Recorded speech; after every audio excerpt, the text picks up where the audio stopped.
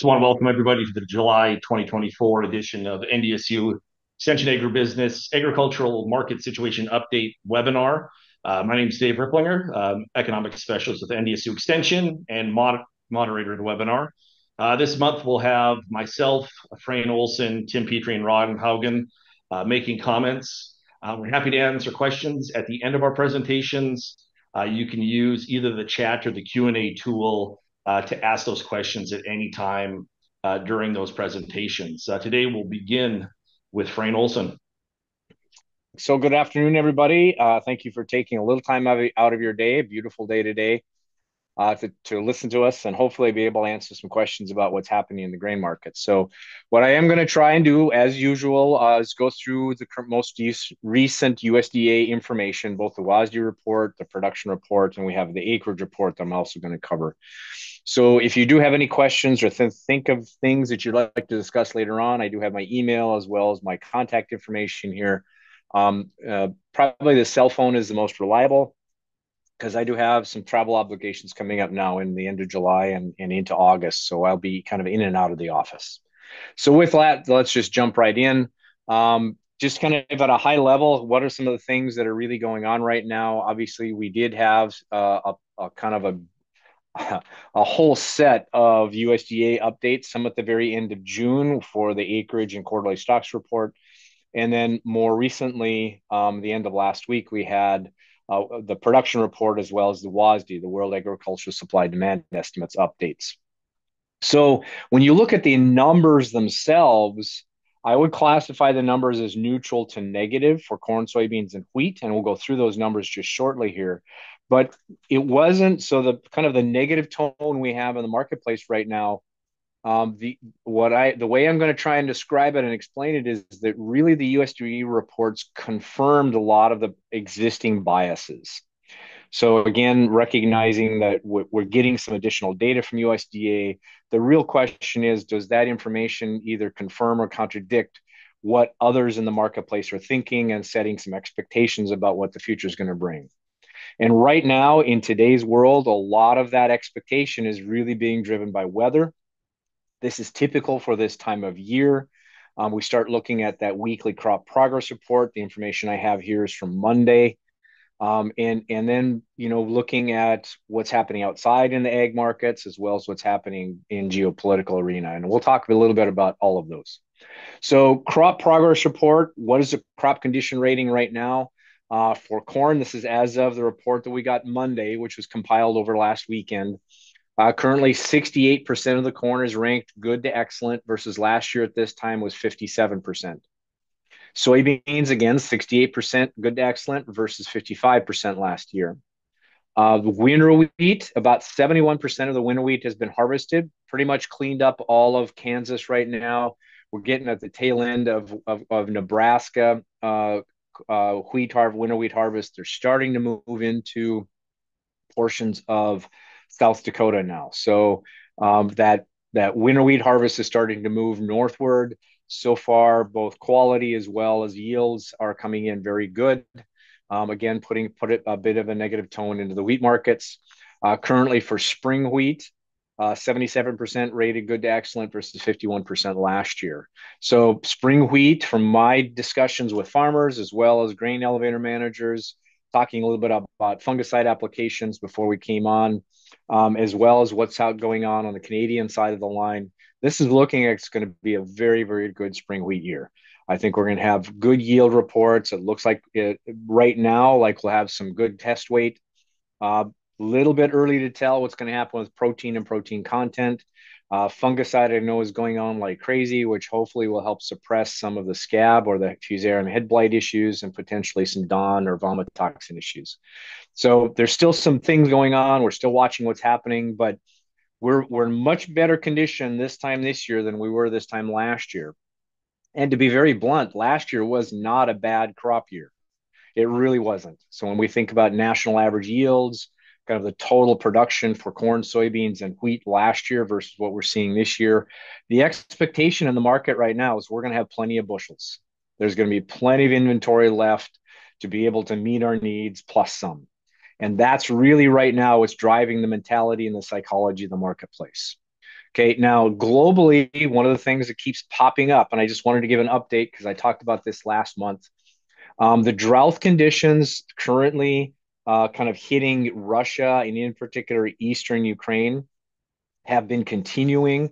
Um, it is starting to impact winter wheat yields and yield potential. Uh, we haven't heard any yield reports coming out of Russia yet, but the expectation is they're going to have some some lower yields. They're still going to have a crop. There's still going to be some production in order to be able to sell. Uh, the big issue is how many bushels are they looking at. So let's look at the numbers very quick. I just want to highlight a few things because there's a lot of tables here. Um, please feel free to re replay this at, at a later date if you if you want to go through it in more detail. So this is the information from the acreage report. So again, uh, prospective plantings report came out in March. USDA does another follow-up survey of farmers to say how many acres did you actually seed versus what you were intending to seed. The blue uh, highlighted blue row on very top is what the average trade estimate was. So this is kind of what the traders and analysts were thinking about, what they were expecting. The highlighted black towards the middle is what the information we got from that March prospective plantings report. And of course, on the very bottom, we have the red highlighted, which is the actual numbers we received. Now, I did include the 2023 planting as plantings from last year, just also as a reference point. So you get a better feel for how much of a change or shift we're really getting in some of these from last year. So we got updated information on what we expected planted. It's just a matter of what reference point do you use to say, did it go up and it, how much did it go up or did it go down? Okay, so uh, what I really like to do is compare the blue line to the red one. And the reason I do that is, again, just to remind everybody, the blue is what the trade was expecting to see versus what did we actually see. So if you look at corn, which is really the one that had the surprise or kind of the shock value, we ended up planting about 1.3 million acres more corn than what we had first than what the market was expecting. Okay so we you know we were the, the, the traders were expecting a number that might be a little bit bigger than the march which is when you compare the black line to the blue but it got to be much larger than expected and of course that kind of t- turned the tide for corn because we were coming into this marketing year with a little bit more corn in inventory than we had uh, than we have for several years. And then you add on top of that uh, uh, more acres planted than we expected. Now it's still down from last year. Notice last year was 94.6. This is 91.6. So about a 3 million acre cut from last year. But translation is the cut wasn't as large as what we had expected. Soybeans, the soybean number came in actually a little bit on the lower side. So when we look at what the March March intentions were, versus what the trade was expecting in blue versus what we actually got. A slight cutback or reduction in, in soybean acres, which was somewhat supportive. Um, then we look at the all wheat, and I just want to skip over to the spring wheat and the durum because the winter wheat acres for both hard red winter and soft red winter, we had a pretty good real read on those going into that report. The real question was, well, how many acres of spring wheat and durum were actually seeded? Uh, the spring wheat number came in pretty much right on what the trade was expecting, a small, smaller reduction.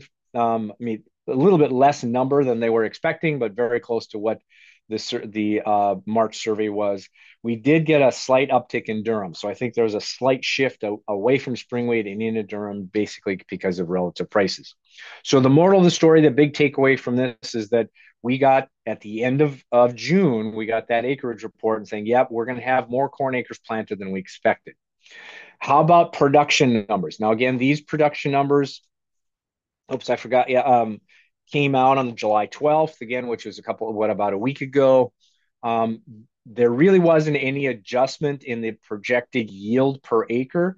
Uh, USDA sometimes will adjust up or down a little bit based on planting conditions and general weather report, but essentially we follow the trend line yield.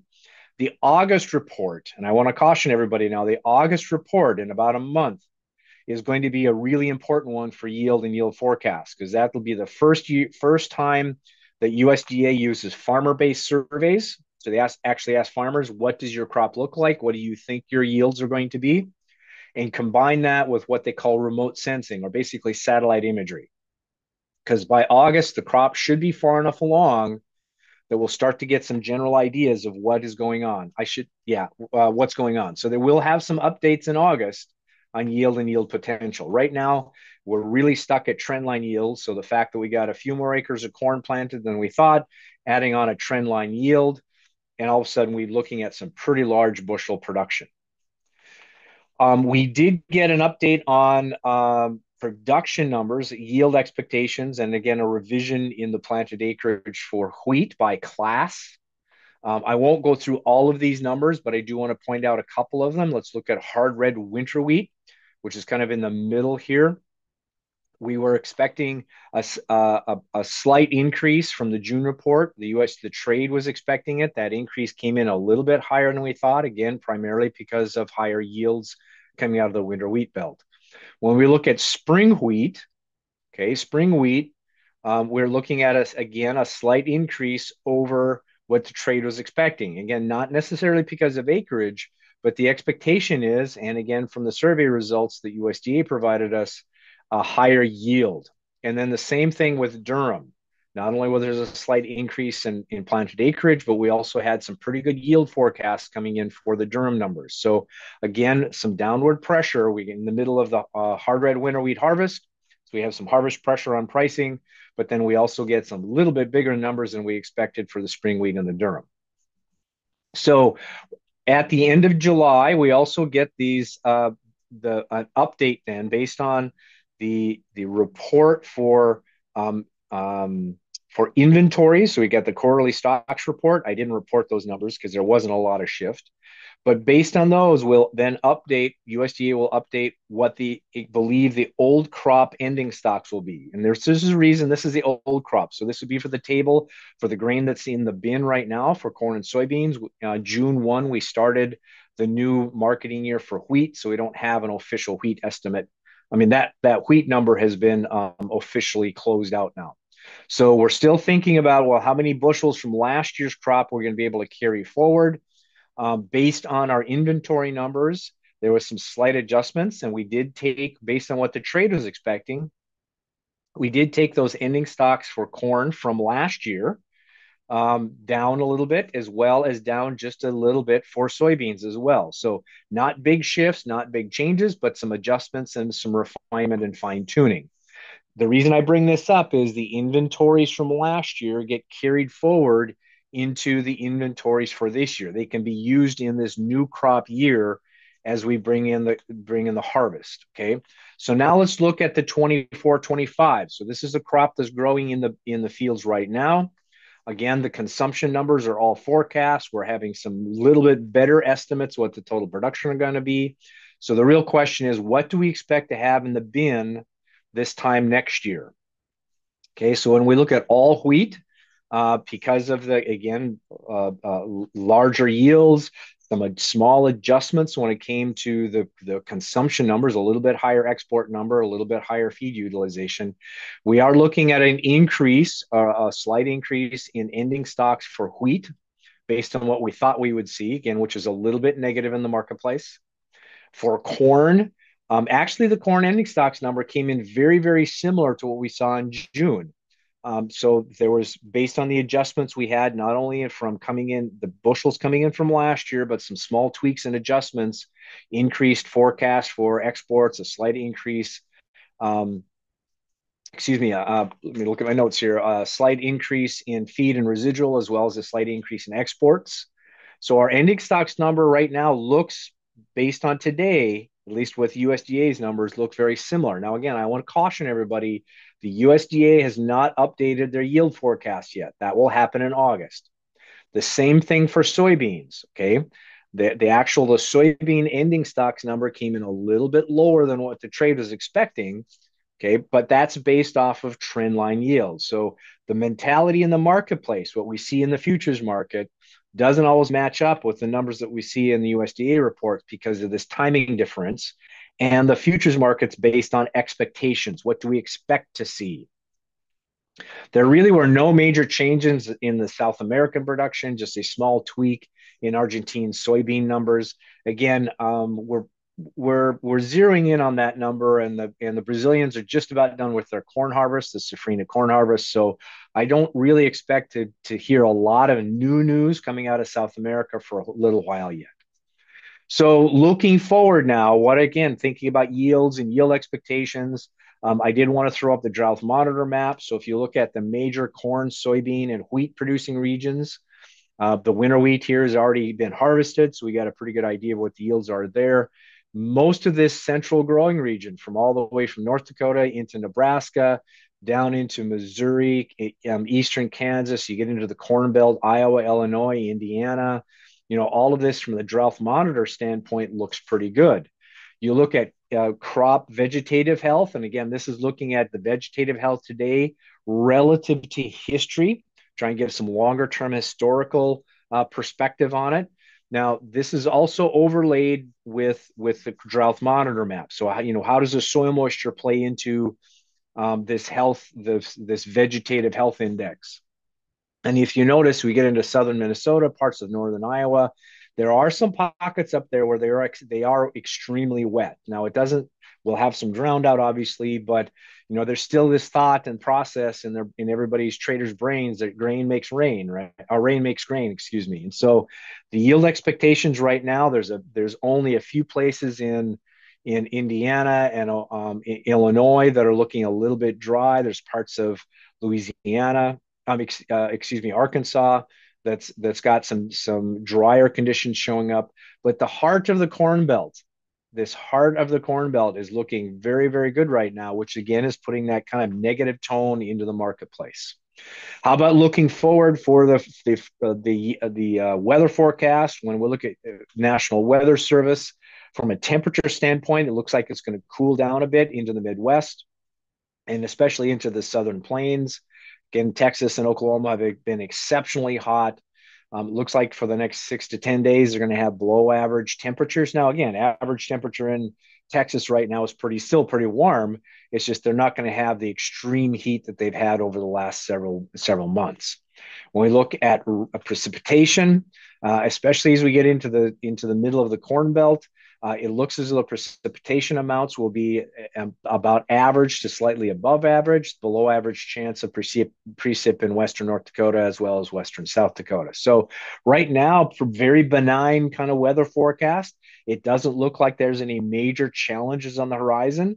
And so, right now, the buyers, if I'm an international buyer or domestic buyer looking at corn, soybeans, or wheat, I'm not nervous at all. In fact, what I'm waiting for is some really good deals, right? I'm, I'm if if we get the crop that everybody thinks we have right now, you know, there's no rush or there's no hurry to be, to be able to buy or or to try and, and forward price a bunch of the crop because it looks like we're going to have ample supplies. So as a result, we're starting to see these downward trends. This is as of about 12:30 today. So this would be the December futures contracts. I put in the blue lines, which are those support and resistance levels, kind of those mental barriers at least short term, it does look like we've put in a, a new low at about that 40, uh, 404, 405 level. So we're trading near the bottom of the range right now. Again, as I said, the expectations are for no major problems. We look at soybeans, kind of a similar kind of an uh, uh, uh scenario. Now, from a pure technical st- charting standpoint, we it looked like we were putting in a low, although today we took another chug down um, even though we did get some export sales numbers that came in that were, I, I think, were favorable, but I guess it not a, uh, obviously a major shock to anybody. So the soybean market is still looking a bit soft. We may see a little bit downward, more more downward movement. We'll have to wait to see over the next couple of days. Now, it does look like the spring wheat market has found, at least again, a temporary bottom for a while here with a slight rebound. And again, as I mentioned earlier, there's more, more conversations and discussions happening about global wheat supplies starting to tighten a little bit, primarily for, for production coming out of Russia. Even though the Russian, the people that buy Russian wheat don't necessarily buy, buy a lot of US wheat, but just the fact that, that some of that wheat may not hit the marketplace is putting a little bit of support into the into the wheat market. So with that, um, that is the end of my formal presentation. Let me stop sharing here, and I will hand things over to Tim Petry. Okay, good afternoon, everybody. Tim Petry, Extension Livestock Marketing Economist. Today, I want to talk a little bit uh, about uh, cyclical versus seasonal cattle prices particularly, uh, you know, at this time of the year uh, on, on feeder cattle in particular, we're at relatively high levels, but, you know, the seasonal pattern is for them to go down. And last year, uh, in the fall of the year, even fed cattle went down a little uh, uh, counter seasonal. And so I just want to mention, you know, and I've been talking about the cattle cycle in our previous presentations and saying year over year, we're going to be higher. We're higher than we were last year, 2025 probably higher. But to caution you that on a seasonal basis, prices can go down. And like they did last fall uh, for feeder cattle was was a, a normal situation, but there was concern that, uh, you know, that we had topped from a cattle cycle standpoint or that there there uh, might be some, some other uh, issues going on there. And so I, I just want to cover the cycle versus uh, seasonal price patterns. So here's just the fed cattle price on a monthly basis. And so you see, at least in the right-hand side of the chart, we are going up. We're in the the uh, upward part of the price cycle, but month by month, prices do change. And you see there by the end of 2023 that we uh, did have that decline. So uh, here is the cattle cycle. And in the cattle cycle, then we just measure year over year, like I said. So, you know, we go back there to 2014, 15 was our previous cyclical high. And now uh, 2024, 2025, we're expecting prices on a cyclical basis to be higher last year. They're higher this year. Also notice that we have about a 10 year cycle. Go back, you know, there's 2004 and five we were cyclical high and then 14 15 and now 24 25 so the cycle is behaving uh, normal and again uh, cyclically we're expecting higher prices uh, next year however we do have seasonal price patterns that are very prevalent in the cattle industry, you know, due to supply and demand. So here's the seasonal price index for fed steers. And we like to use a, a 10 year uh, uh, index here because again we have a 10 year cycle so that should kind of take care of that. So I'll explain what this index is in a little bit more detail so that I don't have to explain it in the others. But all we do then for 10 years in this case the 2014 to, to 2023 average price for fed steers for January we add those up and get an average February March and so on and then divide by the year and so we get uh, uh, you know, an index there for the year. So in other words, uh, starting the year, you know, well, let's just go across from one. One is is the average for the year. So eh, whenever the red line is above one, it means they're above average for the year over that time period at least. And that doesn't mean that they have to be uh, this year because uh, out of the unordinary things can affect the market and so on. But on the average for those 10 years, then uh, that red line above one means they're above average prices and the red line below one means they're below average prices. So we usually start out the year about 3% above average and then go up to about 6% above average in May. But by July, we fall down to, uh, uh, you know, five, five, five, four percent below the average or so on, but but quite a significant decline from May into midsummer, and then uh, pick up throughout the year. So that's uh, that's what the seasonal average is over that ten year uh, time period. Now, also keep in mind then when we put the cyclical impact here. The prices are going up cyclically. So then, you know, that seasonal price index on the top, since we're in the increasing phase of the price cycle now, by the time we get to the end of the year, we could even be higher than we start off the year, even though they go down in the midsummer and so on. They could be higher or even could be higher than they were at that, that high back there in April or May. On the other hand, on the bottom when we're in the downward part of the price cycle then year over year prices even though they might sh should be higher in the fall and they do go up in the fall, they, they're lower than it starts. So just keep that in mind. We're in the increasing phase of the cycle now. So uh, year over year, we expect higher prices, but seasonally, again, they can go down. So here then are the actual prices, weekly prices to show you the variation weekly, and then the the cycle going on. So, you know, uh, 20, uh, 21 is in green, 2022 is in purple, last year is in blue and red is this year. So you see cyclical higher. And then even on a seasonal basis, you see we're starting out the year and, and, and lower. We're ending, I guess I should go to, we're ending the year higher then we start the year because we're in the upward part of, the, price cycle. And so cyclical are going up, but that doesn't mean uh, prices can't go down.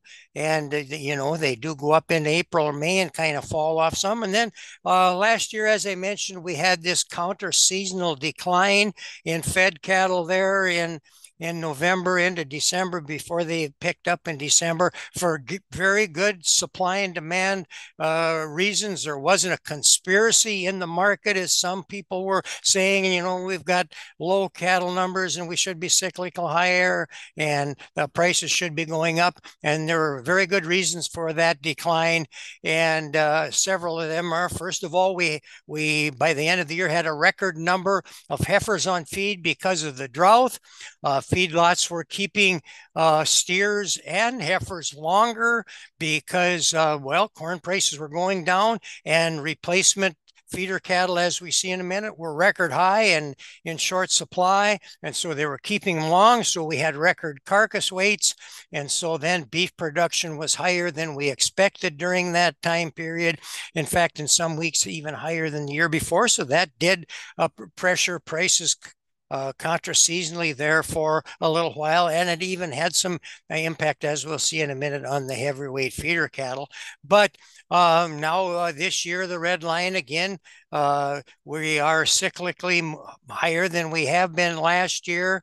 And, uh, you know, our expectation is, uh, although the futures market, the, the red squares there are the futures market, uh, again, they expect some seasonal decline, which you know usually does happen in the summer, and and then some slight pickup. I think we can do better than that on Fed cattle prices. The, the futures market is very cautious now, very volatile as well.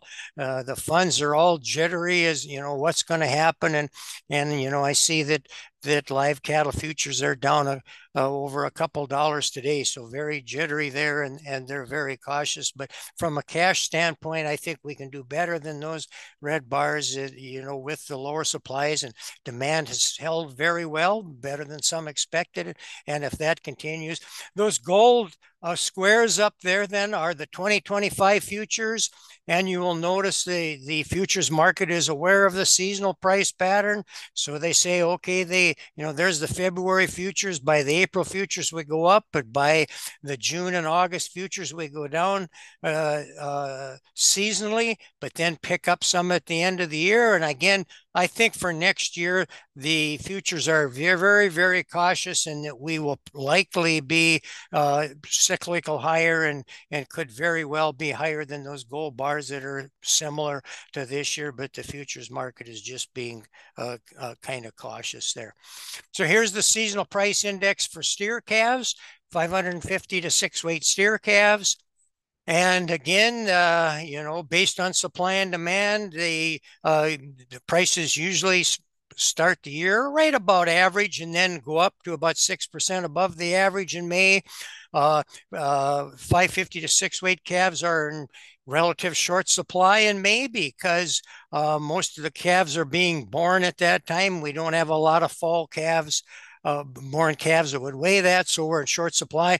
And then, as long as grazing conditions are good, there's a really, really good demand in April or May for the lower supply of these lighter weight calves we have.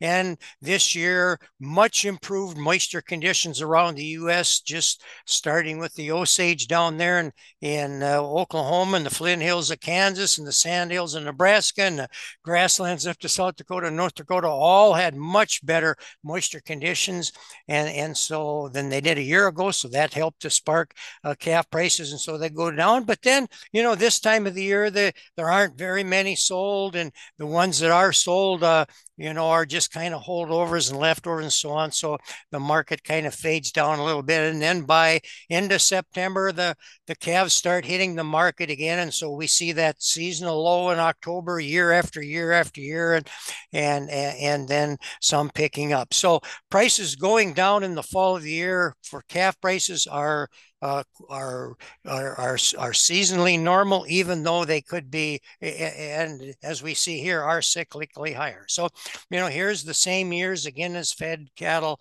that I showed you before in calves. You see the, you know, we're, we're moving higher every year. And uh, although they, uh, you know, there there are some declines into the fall of the year, and we see that uh, last year. Uh, we were at 290 there you know, in, in a month or so from now last year, they dropped down to 270. And so that's a lot of concern saying, man, you know, uh, what happened there? We're, we should be cyclical higher. Calf prices right when I want to sell in, in October November, they're off $20 or, or whatever. And that shouldn't happen. And is there a conspiracy? And that wasn't it at all. That's just a normal seasonal occurrence. On a percentage basis, that was a 7% drop. Uh, we had a 7% drop back in 2022. And uh, actually, they're back in 20. Uh, 21 from the uh, I think they're 180 down to 164 was a nine percent drop. Which so again the, the drop was was uh, uh percentage wise was the same that it usually is and so my expectation is again, is that they will be lower this fall than they are now, a 550 to six weight steer calves. I think right now it looks like there's good support down there at, at 310 or so in that area, which again would be a around a 7% drop again. And, you know, we're going to have fewer supplies than we did last year. And, and uh, again, as long as fed cattle hold and, and, and so on. So uh, here's the seasonal index then for the heavier weight yearling prices. And you see um, they uh, tend to go down into March. That's that calf crop moving through. You know, back here, uh, calf prices are low in October because that's when the big bunch of 550 to six weight calves are on the market. Then uh, you know, we that same group of calves by March then weigh 750 to 800 pounds. So that tends to be the low. And then remember the seasonal low for fed cattle is more into June and July. That's those same year calves moving and, and the big bunch of them available in the midsummer there. So then uh, calf, uh, these heavier weight yearling prices tend to move higher up into September, which really bodes well for summer grazing programs because uh, uh, you know, these these uh, 800 pound, seven, 800, 900 pound cattle coming off of pasture in September usually are a seasonal high. But then again, the seasonal pattern is for them to fall off as the market gets uh, a, a, lot of, of seasonal pressure from calves coming to market and so on. And just one kind of aside here, uh, you know, uh, a, a, lot of, uh, backgrounders uh, that use livestock risk protection look at that end of August, September time period as a good time to put on an LRP contract for the March uh, cattle coming out because of that uh, that seasonal pattern. So here's the actual prices again. No surprise here, cyclically higher every year.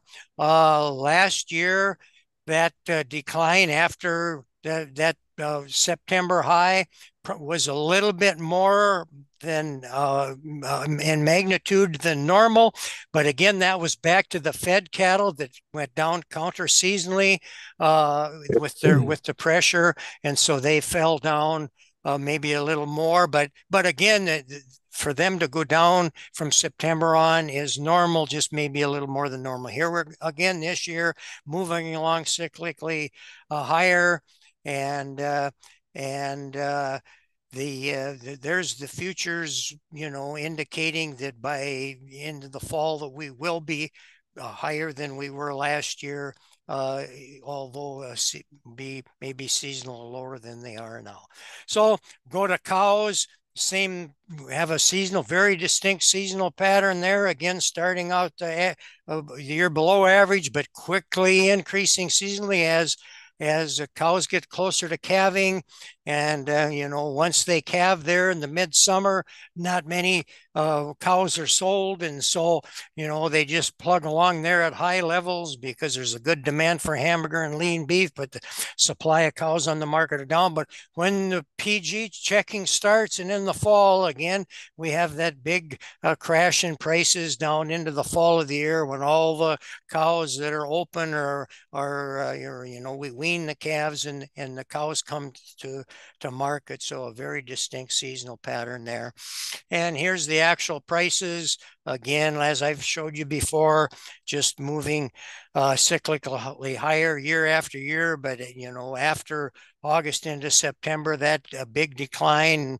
And, uh, you know, we're uh, cow slaughter is down 17% this year. So we're seeing a really, really uh, nice cow prices here. Just want to uh, caution, you know, you know, we're up there around 128 or whatever, and I have produced telling me, oh, I'm selling cows for 150 or 149 or whatever it might be, and and I know, you know, th- these are just average prices, and this series that I use, these 85 to 90 percent lean prices, are thin, they're old, they're they're broken mouth cows that have had a had a, a calf on them, and so they would tend to be at the low of the market, but younger or fleshier, better yielding cows I know are bringing very good prices now up, uh, you know, 160 or whatever. But, you know, again this year, uh, after here a month or so, we can expect the uh, cow prices to decline again, like they uh, always do in the fall, is, is a seasonal thing. Even though, you know, we're going to be cyclically higher in prices, they'll be higher than last year this fall. They'll be still lower than they are now as the other market classes. So again, I just wanted to kind of have you uh, uh, remember that that cyclical versus seasonal. We're cyclically we're going to be higher, but don't forget the seasonal price patterns, and they hold true typically year after year. And so prices can uh, go down uh, due to supply and demand fundamentals, and and uh, no conspiracy there. So with that, I will stop sharing and turn it over to Ron. Okay, I'm just going to have a few minutes here to talk about the emergency relief program, the 2022 program. Um, there was never a, a deadline announced uh, when we were in uh, in the in the uh, fa- uh, the um, phase one and phase two, and um, so or the track one and track two, I should say. And uh, so they finally announced a deadline now, and it is August 14th, 2024. Now, people had already gotten money earlier on the track one um, so they may not probably wouldn't expect too much on on the track too. Uh, and with most people, nobody really does anything till there's a deadline. So now, there is one. So you better get better get uh, cracking if you're going to do something. Uh, a quote from the FSA administrator: "Don't delay. Gather up your documents and contact your local FSA offices off to complete your application." Okay, uh, just as a quick review, this goes way back to 2022 when the president signed a, signed a, uh, appropriations uh, to help pay for losses that occurred in 2022. There really wasn't enough money to cover all the losses, uh, so they will be rationing that out. Um, it, as an overview, remember that people automatically got paid some money under the track one.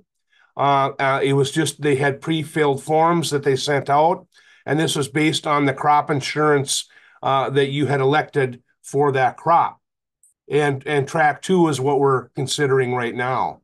Um, what it did, it bumped up your crop insurance levels um, to a higher amount based on this chart. Um, for those that didn't have crop insurance, track two probably more of an app to collect some money uh, if you get this filled out in, in time.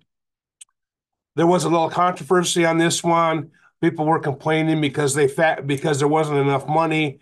They factored down the higher payments more than the lower payments what you would have gotten. Um, so uh, but that's just the way the rule was. Um, and uh, that's what we ended up with. That's this this is the called the progressive factoring chart. So getting to track two now. There is two options available, the tax year option, where you actually pull information from your tax returns, from your gross income, and then the expected revenue option. FSA has done webinars on both of these two options. Um, they are posted. You can grab them and, and refresh your memory if you've forgotten about it by now. Um, the tax year option, you basically check, uh, uh, elect um, your income from either 18 or 19 as your benchmark and compare it to 22 or 23. Okay.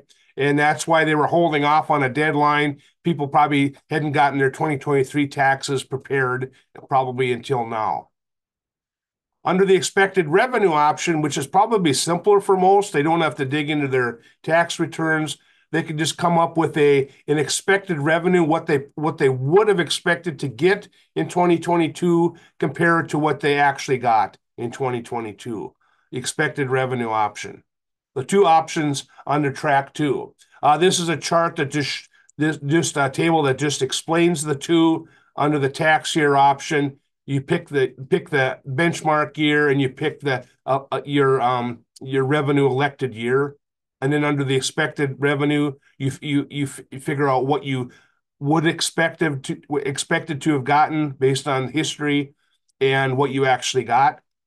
And so remember now, the deadline is August 24th.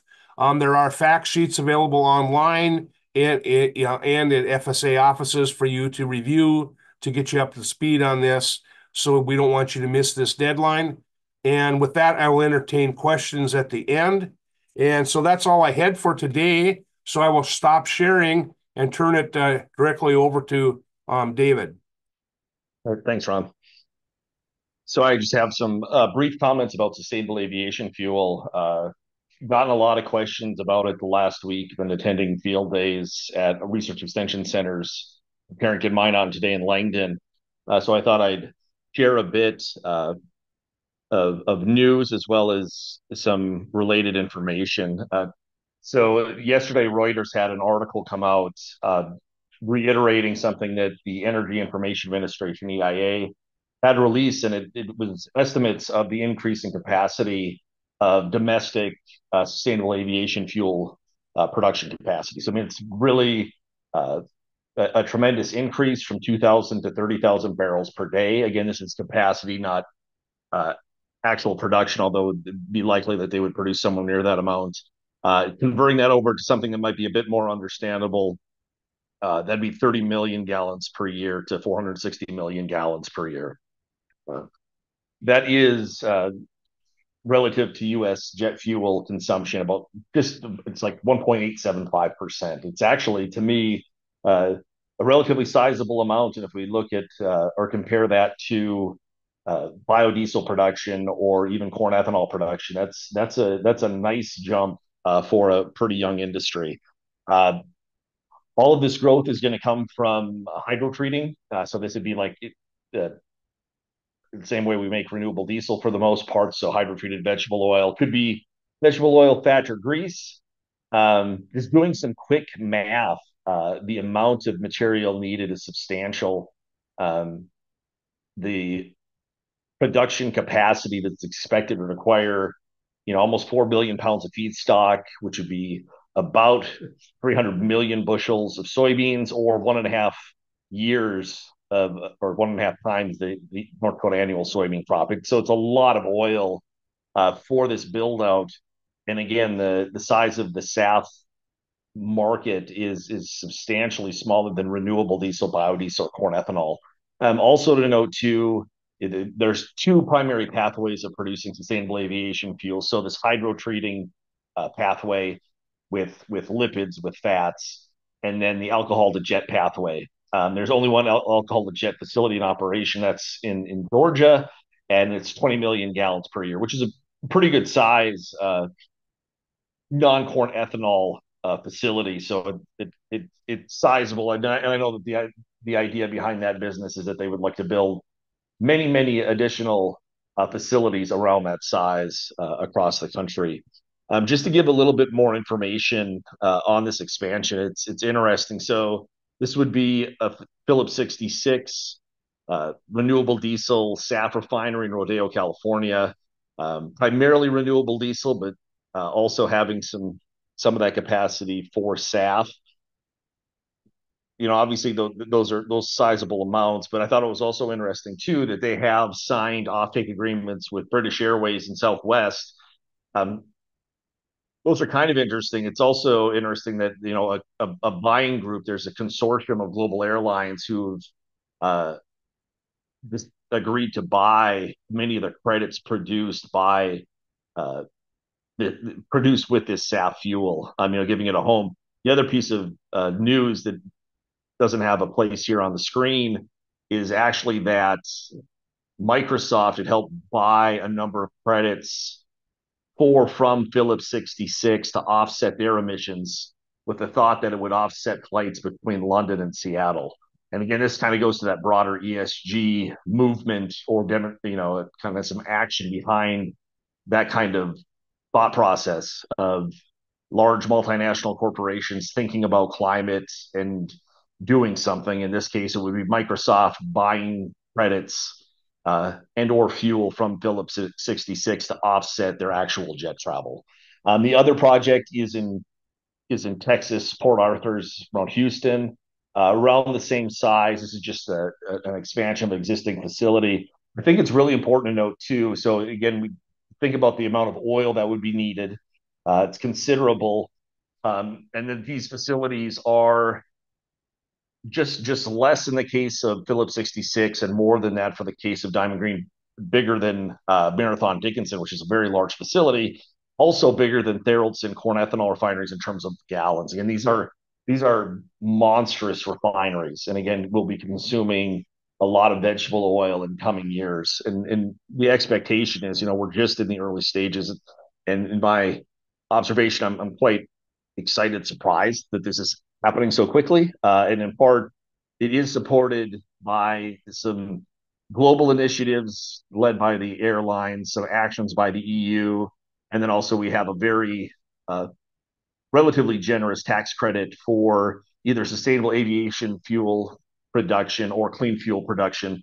Both of those tax credits are a little bit bigger uh, than there had been in the past for biodiesel or other things, and a bit of an upside. And so there's, me, this is kind of some observation that this policy had had some had some pull in it, helped uh, make these things happen.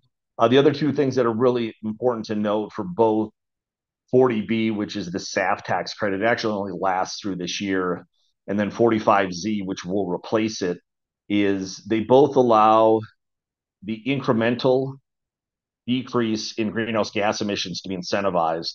And so as an economist, that's ideal. So if we're gonna price every little bit of reduction, we think that the market would work effectively to incentivize refineries and others to make those changes, uh, instead of having uh, kind of a larger step or jump uh, for for making changes. And then also, too, it allows farm-level practices to be considered. This is, you know, very much new for federal policy. The tax credit goes to the biorefineries, but farms themselves who have low-carbon feedstocks, you know, they should have enough oomph to capture some of that, that premium, that or that tax credit that that refinery might have. There's not a great deal of commodities that can actually qualify based on the IRS's rules, but a really kind of an exciting place where we're at. Um, mm, there's a little bit of work Uh, on those going forward, uh, as well as continued modeling with the life cycle assessment, especially 45Z, the rules haven't been put out yet. Um, but together, they've both played a bit of a role in this build-out of our SAF production capacity. Um, and then, of course, we'll see how it plays out in terms of the production and marketing of crops. Um, that's all that I had for my remarks. Uh, with that, we'll open the floor up to questions. Again, you can use the chat or the Q&A tool, Um, and we'll leave it open for a few minutes um, for any questions. And I would like to thank everybody for attending. There were a number of participants for mid-July. Everybody must have good air conditioning now, because if, you know, 50 years ago, I don't know if they'd be plugged in. Yeah.